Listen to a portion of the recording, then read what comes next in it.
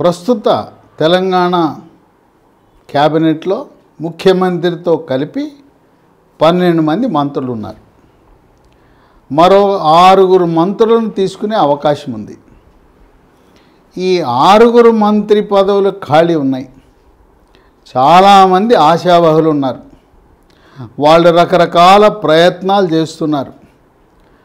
వాళ్ళు రేవంత్ రెడ్డి ముఖ్యమంత్రి దగ్గరికి కలవటం లేదో మాణిక్యం మాణిక్యరావు ఠాక్రే పరిచయం ఉంటే ఆయన దగ్గరికి వెళ్ళటం.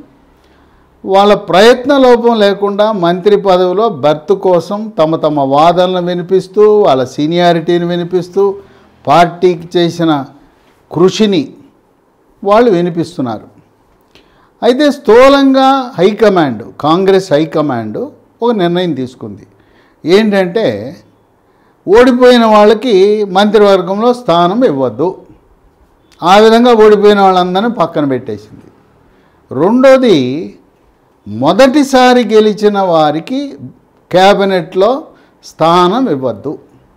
కొత్త వారికి లేదు.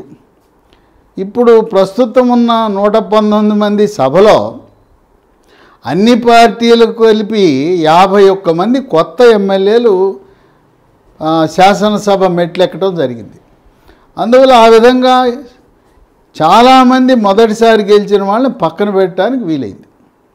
ఇక ఈ ఆరు స్థానాలకి నాలుగు జిల్లాలకి ప్రాతినిధ్యం ఇవ్వాలి.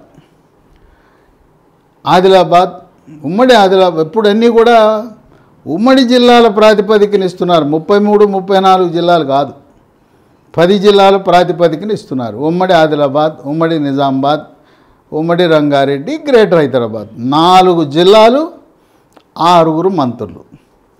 కొన్ని ఊహాగానాలు ఉన్నాయి ఇవి చేసేటప్పుడు సీనియారిటీ సమర్థత ఈ రెండింటితో పాటు సామాజిక వర్గాలు. ఇప్పటికే ఈ పన్నెండు మందిలో ఏ ఏ కులాల వారు లేరో ఏ ఏ మతాల వారు లేరో వాళ్ళకు ప్రాతినిధ్యం వచ్చేలా చేయవలసిన ఆవశ్యకత ఉంది. మనం ఆదిలాబాద్ విషయానికి వస్తే అక్కడ జి వెంకటస్వామి కేంద్ర మంత్రిగా పనిచేశారు. ప్రదేశ్ కాంగ్రెస్ అధ్యక్షుడిగా పనిచేశాడు సీనియర్ నాయకుడు.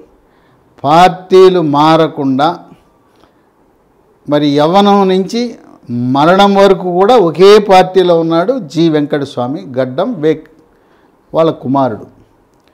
ఇప్పుడు ఈ వివేక్ వెంకటస్వామి ఈయన డాక్టర్ వృత్తిరీత్యా.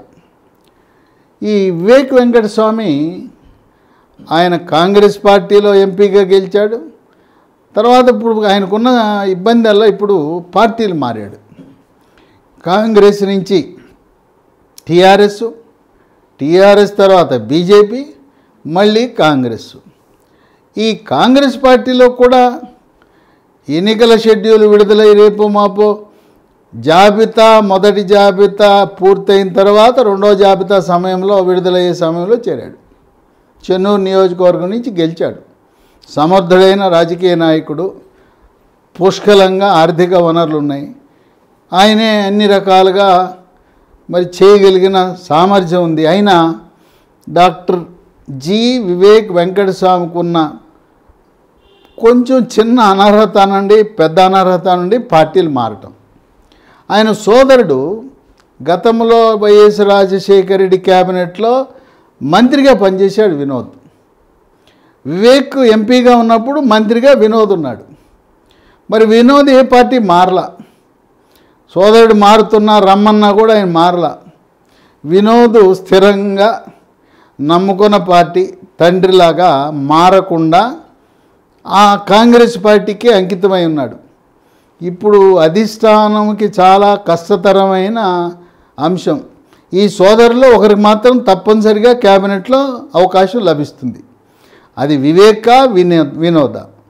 అయితే సమర్థత రీత్యా మరి వివేక్కి మనం కొన్ని మార్కులు అదనంగా వేయవలసి ఉంటుంది.